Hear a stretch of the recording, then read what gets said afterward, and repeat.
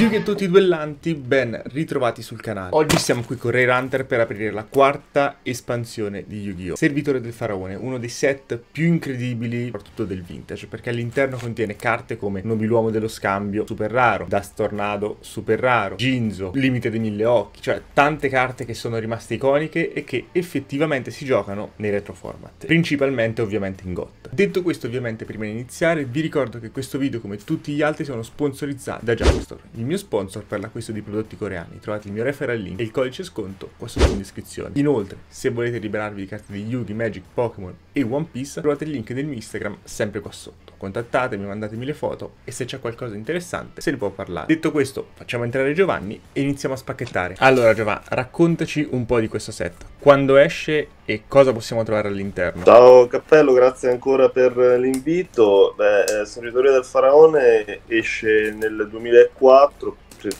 all'inizio del febbraio del 2004 ci troviamo contestualmente nella prima fase della seconda stagione di Duel Monsters, quindi quando i protagonisti entrano nel, nelle prime fasi del torneo della città di Domino, tant'è che la carta secret principale è Ginzo, eh, che diventerà poi co-protagonista insieme a Joy uh, ovvero Yono Uchi per uh, il mercato eh, occidentale. Un set molto importante sia per quanto riguarda le staple, sia per quanto riguarda un po' le carte in generale. Ehm, Sovrano del Faraone, come dopo il Sovrano della Magia, eh, rispettivamente per le magie, Sovrano del Faraone ospita tantissime carte trappola, 42 se non sbaglio, di cui queste 42 15 sono addirittura con effetto continuo. Per me non è un caso perché eh, affianca poi l'effetto che è quello di Ginzo, ovvero quello di andare a neutralizzare completamente eh, sia l'attivazione di carte trappola sia, la, mh, mm, sia, i propri effetti. Curioso è che l'altra secret che ti... non so quale delle due preferisco che tu trovi, comunque ti auguro Ginzo a questo punto, eh, Ordine Imperiale fa l'effetto, fa l'effetto eh, inverso, opposto di Ginzo, ovvero quello di andare a neutralizzare invece le carte magia.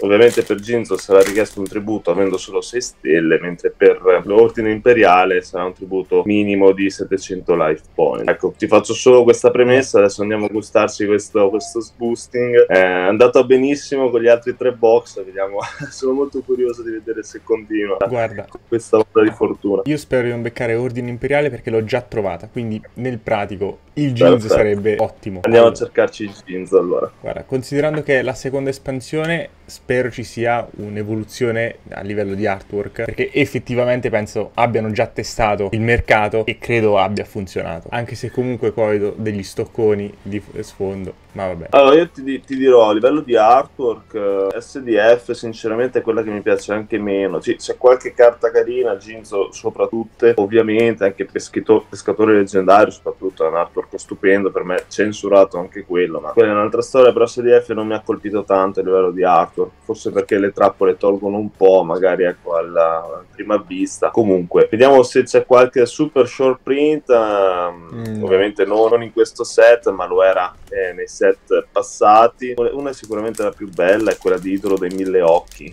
00. Eh, io l'ho definito, l'ho definito nella guida adorabilmente inutile perché alla fine è una carta così, è nata esclusivamente per fare da, da, materiale fusione per creare poi limite. Limite a proposito, mentre apri, è, è nel contesto sbagliato limite perché poi eh, lui va a collocarsi nel torneo di Pegasus e quindi nella precedente stagione. E l'unico fatto che possiamo, possiamo giustificare la sua presenza è che eh, è, stiamo inseguendo continuamente i set giapponesi già usciti nel 2000-2001 e di conseguenza Upper Deck va a fare un, così, un agglomerato di carte dentro anche, anche lì.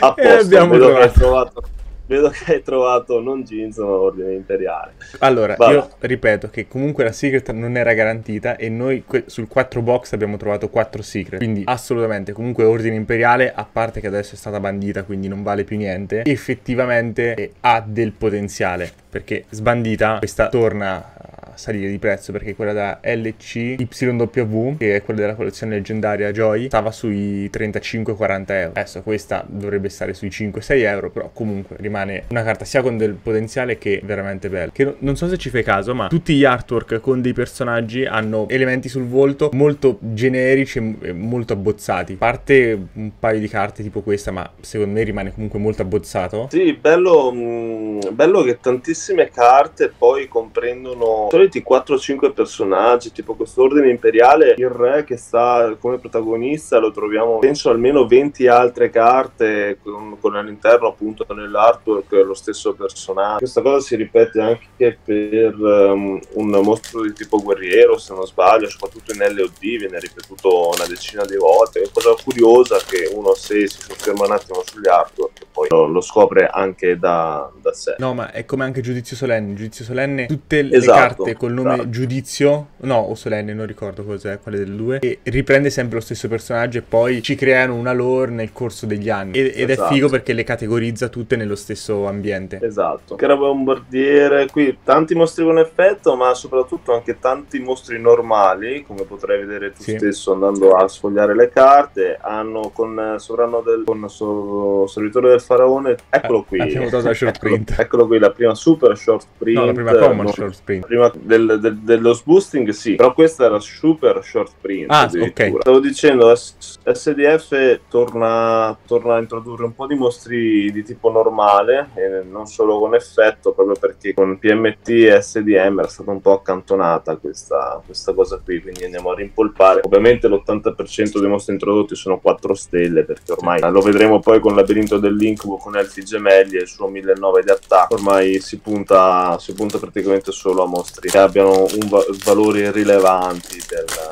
di valore attacco e difesa non, avendo, non, non potendo godere di, di, alcun effetto. Ma guarda, diciamo che con questo set diciamo, si inizia a dare luce a quello che può essere il competitivo perché iniziano ad esserci quelle carte che poi verranno riprese anche più avanti. Adesso è un abbozzo primordiale di quello che potrebbe essere GOT, ma in Yok escono altre carte, poi in set che ovviamente non, non abbiamo, tipo PGD e questi qua, compaiono le metamorfosi, quindi ovviamente verrà ripreso il limite e tutte le altre fusioni che effettivamente abbiamo visto fino adesso. Sì, esatto. A proposito di uh, GOT, in questo, in questo, set ci sarà la carta uh, Sigillo del Tempo, se non sbaglio, sì. che praticamente impedisce all'avversario di pescare nel prossimo turno. È praticamente un anticipo di quello che sarà l'effetto di Yata, no? Con, mm-hmm. con, uh, con Legacy of Darkness e il suo, suo famigerato Yata Lock, insomma. Che effettivamente attualmente eh, noi abbiamo sbandito sia Yata Grasu che il Shed. Il problema è che hanno tutte e due l'effetto cambiato, quindi sono totalmente inutilizzabili e la lock non può essere fatta. Cioè, secondo me questa idea della Konami di cambiare l'effetto delle carte per poi sbandirle è un po' una boiata, perché a questo punto fammi un'altra carta depotenziata, però che effettivamente fa la stessa cosa. Cioè, c'ha poco senso modificare gli effetti delle carte solo per renderle giocabili e farli giocare i giocatori, perché, esempio, anche un sincro a caso, Brionac, Brionac era forte, adesso se non ricordo male gli hanno modificato l'effetto ed è ingiocabile. Comunque sigillo del tempo abbiamo trovato. Quello qui, sigillo del tempo, dicevamo prima. Che sì. anche è stato sbandito, se non ricordo, neanche un anno fa fa. Ah, non, non, sono, non ero a conoscenza. Dovrei spoilerare un pochino le banned list per andare poi a, a, magari a fare anche qualche curiosità sul, sulle carte del passato, perché tante poi riguardano appunto carte di questi set. Uh, muro, muro specchio abbiamo trovato. Muro specchio, la prima super. Eh, ce ne carta, sono dei migliori. Carta così, un po' interessante, più altro che bella secondo me a livello di arte. Uh, sì. Non l'ho mai vista giocata da nessuna parte. Forse, forse... No, volevo leggere l'effetto. Du- uh, di mezzo all'attacco di mostri attaccanti del tuo avversario. Una volta per turno durante la standby phase paga 2000 life points o distruggi questa carta. Diciamo il costo un po', un po eccessivo. Costo è alto, però lo puoi utilizzare durante il turno dell'avversario e poi non pagare se è concesso fare una cosa del genere, ovviamente. Quindi sfrutti lo spettro una volta sola e poi te ne liberi. Eh, sì, diciamo che paga o distruggi, quindi puoi anche non pagare e far distruggere la carta. Esatto, però buono. sfrutti lo spettro sfrutta il primo attacco e poi te ne liberi. Considerando l'epoca in cui è uscito questo set, diciamo avevamo trappole più forti perché eh, avevamo riflessa a 3, avevamo giudizio a 3. Sicuramente. Sicuramente questa era più economica e accessibile a tutti. Allora, Sicuramente. Attacco ricevi, guerriero, ondata gelida, questa si è giocata anche in Edison, fortissima. Questa carta Molto- può essere attivata solo all'inizio della main phase 1, fino al tuo prossimo turno né tu né il tuo avversario potete attivare o posizionare carte magia o trappola. Quindi praticamente è un Imperial Order e decretoriali messi insieme. Limitati a un turno, però sì, è molto forte. Poi abbiamo Drago di Fuoco bifronte, altro mostro normale 6 stelle. Mister Vulcano 5 stelle normale, Ufficiale Goblin, Trappola appropriata e Gradius. Gra- non la lore di Gradius, però ho questi mostri macchina dello stesso tipo, del- dello stesso, della stessa lore, comunque ricompaiono anche nei set successivi. Sì, sì, sì, sì, che Gradius verrà, verrà ripreso più volte, avrà anche delle carte magia Union di equipaggiamento interessanti, però è un mostro che non prenderà mai piede in un contesto tuo personale, purtroppo. Allora, abbiamo Ombra degli Occhi, Teschio Marino, Raffica di Vento, questa è... No, non voglio fare una battuta eh, sui problemi che sono stati in Italia ultimamente. Indossatrice d'ali, Avevano previsto, avevano previsto tutto. Bambino Vampiro e Orco d'acciaio. Sì, diciamo che i mostri macchina, mh, se non sbaglio, qui un pochino ce ne sono, insomma, sono, è una, una- una tipologia di mostro che va viene un attimo riconsiderata. Guarda, domanda importante. Quando eravamo, almeno da me, eravamo bambini, pensavamo che quando dietro c'era il pallino verde c'era la foil. No, e quando c'era verde non, era- non c'era foil, quando c'era rosso c'era la foil. Ma effettivamente cosa significa? Niente. Assolutamente niente. No, assolutamente nulla, anzi, che io sappia, se parliamo di carte originali del 2004 dovrebbero essere tutte identiche le, le- le bustine, ovviamente figurati se avrebbero permesso il riconoscimento di carte foil sarebbe fallita SDF praticamente. Che poi fossero pesabili un tempo purtroppo lo è, alcuni con l'appoggio di qualche edicola ne hanno approfittato, soprattutto magari più che altro i negozi grossi, attraverso un bilancino di precisioni era facilissimo individuare le carte con eh, all'interno delle carte foil. Infatti io Tuttavia, non ho, non ho fatto un video dove spacchetto col bilancino, assolutamente. Non- ragazzi, non fate queste cose nelle edicole. Allora, poi abbiamo Scarabeo. L'intervento del DNA, abbiamo trovato pure prima, molto bellina. Questa giocava Bruchido insieme a Barriera anti-insetti, soldato di di fuoco. perfetta. Traffica, un'altra ondata. La giara della mutazione 2, anche questa fortissima. E poi abbiamo Kamakiri volante.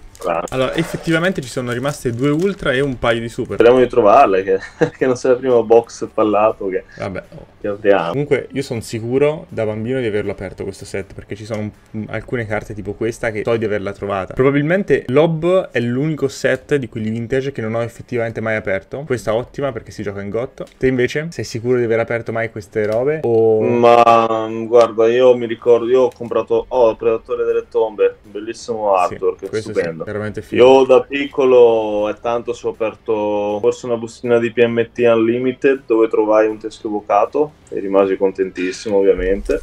Eh, Beh, E, e poi eh, aprì una CRV mi pare e trovai un best super ma non ho aperto tanto io non, eh, non avevo tutta questa disponibilità di andare nelle edicole comprarmi 4-5 euro di pacchetto quindi eh, la mia prima fase collezionistica è stata molto così ri- rilegata a scambi a amici eccetera. Poi eh, nel 2016-17 con tutte le disponibilità di internet, PayPal, eBay, eccetera, lì ho riniziato. Anche la possibilità di spostarmi con la macchina perché andavo a prendere le collezioni in giro per l'Italia, poi ho cominciato a ricollezionare più pesantemente. Alcuni pacchetti li ho anche ritrovati, alcuni li ho aperti, alcuni no, è stato bello, bellissimo, ma purtroppo poi se non, se non mandi a gradare lo le carte appena sgustate, secondo me non, non- non- non fai la cosa giusta, ecco, lì. Ma guarda, ti dico, io nel corso degli anni penso che, a parte sì, una fase iniziale dove me ne comprava mia nonna, e, e am- ammetto che ultimamente me ne ha comprato un paio, per Natale, ho detto, guarda, visto che lo vuoi fare regalo, se me ne compri un paio,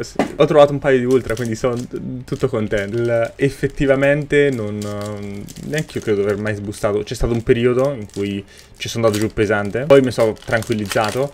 E adesso è andato tutto in vacca come hai detto te, cioè eh, effettivamente quando hai una stabilità economica il problema diventa enorme. Sì. Allora, abbiamo criceto bubonico, vabbè, questo porta alla peste. Poi vento corazzato, anche qui ovviamente tutti sfondi stocconi. Cioè, effettivamente penso robe del genere dai 7GX non appaiono più, penso che lo sfondo sia in tutto disegnato. Sì, c'è un'evoluzione, così come considera che sono passati già degli anni in Oriente, quindi uh, noi le abbiamo concentrate in un paio d'anni, loro magari in 4-5, quindi sicuramente c'è anche un'evoluzione sia, da, sia dal punto di vista così uh, di, uh, anche tecnologica che anche così di, di, di gusti e, e, soprattutto riferendosi sempre a quello che è il, il punto di riferimento che è l'anime e il manga poi ovviamente. Sì. Poi non so te ma a me la versione dei pacchetti vintage piace più di quelli attuali, nel senso danno spazio a quello che è il protagonista della serie, oltre all'immagine, mentre adesso si dà spazio solo al, al mostro. Ok che attualmente non c'è una serie rapportabile, però oh, sarebbe una, co- cioè, è una cosa che mi sarebbe piaciuta vedere anche nelle serie GX e andando avanti, almeno per capire a cosa era contestualizzato. Sì, ma perché, perché da noi mi sembra che non, non arrivi neanche il, il, l'anime tradotto, quindi... Eh, l'unico riferimento che si ha per quanto riguarda il gioco sono principalmente i mostri, quindi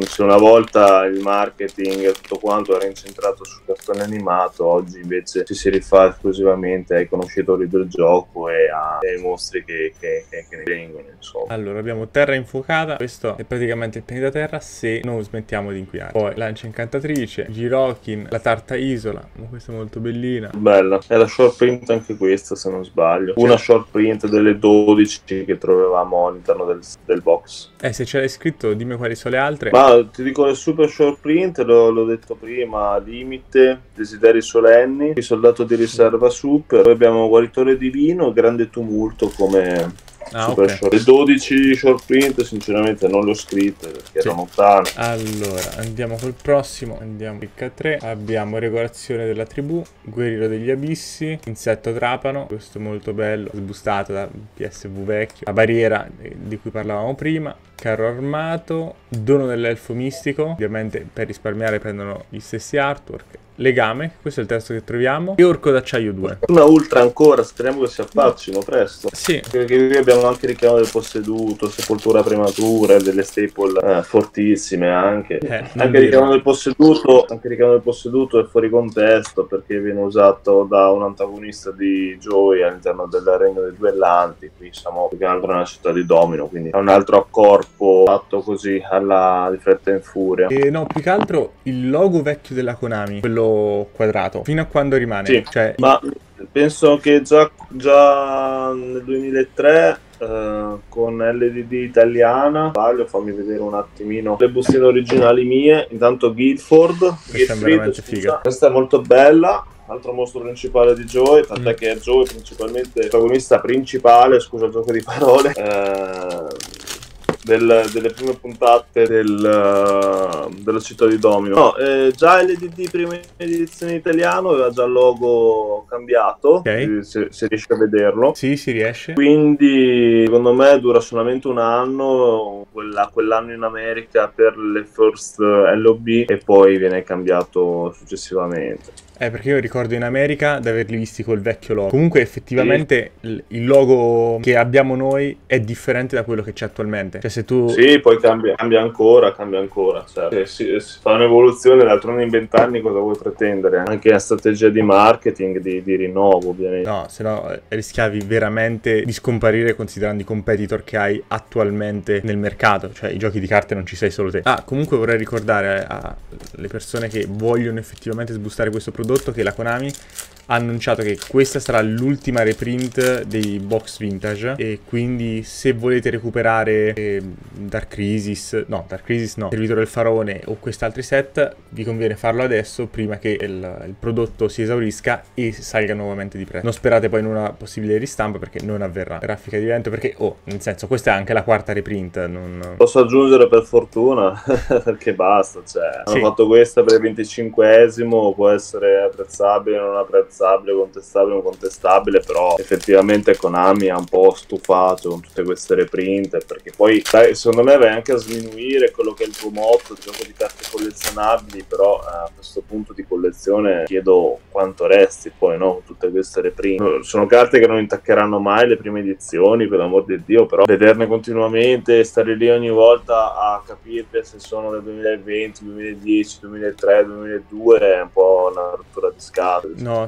allora, sono d'accordo, a parte che queste hanno proprio la dicitura differente, queste sono riconoscibili rispetto a tutte le altre. Veramente ci sono delle reprint passate che eh, fatichi veramente tanto, soprattutto quelle americane. Sì, diciamo che mi hanno rovinato per quanto riguarda le carte inglesi, mi hanno rovinato la ricerca de- delle mie IN variant, che erano delle carte ristampate solamente nella Legendary Collection 1, scusami, nella Forbidden Legacy 1 e nella Master Collection 1. Io sto collezionando e sto cercando di avere i set completi, purtroppo avendo lo stesso codice, ovvero la IN attaccata al, al nome dell'espansione, questo mi uniforma a tutte quante le ricerche testuali che faccio, ogni volta devo stare lì a capire se sono del 2020 o del 2004, 2005. Che merda. È abbastanza, però un po' di pazienza, adesso mi mancano circa 70 carte prima di avere i set completi ed è una cosa che attualmente non c'è nessuno di quelle carte lì, quindi sarebbe un bel primato per me.